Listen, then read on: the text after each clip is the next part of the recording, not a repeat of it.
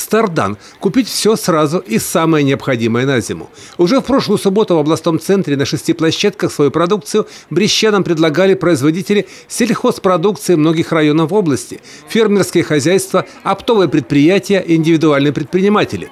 Традиционная картошка, морковка, капуста, яблоки – довольные первые покупатели, хотя многие еще только прицениваются к ассортименту и основные запасы на зиму думают делать уже на следующих ярмарках. Ярмарка всегда хорошая у нас. А что она должна быть плохая? Ну, зачем пришли? Ну, за овощами, фруктами. Что увидим, что понравится, то и купим. Так конкретного нету цель. Есть выбор и большой выбор, то, что нам надо. От мяса до овощей. Ну, такая форма торговли, насколько она себя оправдывает, как вы считаете? Не знаю, не столько лет уже это э, идет. И мы все закупаемся всегда на ярмарке. Ярмарка прекрасная. Все, все нравится. Э, цены хорошие по сравнению с прошлым годом. Запасы рыбы взял. Хорошая рыба, дорогая, правда, но зато жирненькая. На засолочку, на копчение. Картофель, лук, морковь. Все, что нужно для борща. Ну, еще свеклу купить. Ну, такая форма торговли. Насколько она удобна для человека? Ну, мы привыкли к ней. Мы советские люди. Так что для нас это нормально. Может, для кого-то там на Западе и дико, ну, для нас это супер. В некотором ожидании продавцы ярмарка – это только первая, можно сказать, пробная. Они тоже изучают спрос покупателей и всегда готовы посоветовать и помочь с выбором. Картошка, лук, капуста. Все как обычно. Как вы думаете, ценовой фактор доступен для людей? Конечно. В этом году картошка по приемлемым ценам 80 копеек, 70 копеек. Можно найти по 60 копеек. Рубль 20 самым больше. Ценник есть. Народ э, ходит, приценивается, смотрит. Ну, естественно, вторая, третья ярмарка, она уже показывает.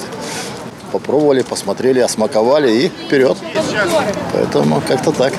Кто в основном приходит? Семьями или люди как? А по-разному, по-разному. Ну, в основном люди уже среднего и преклонного возраста. Молодежь как-то... Нет, а в основном приходят и говорят, вот нам немножко и детям. А детям, самим детям не нужно.